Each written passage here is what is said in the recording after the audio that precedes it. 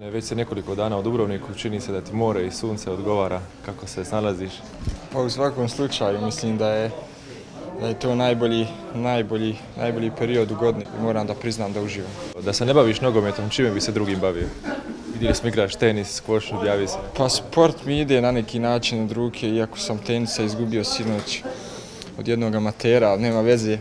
Ovaj, pa ne znam, mislim da budem ono, futbal je, futbal je moja igra od malih nogu, Najveća podrška u životu.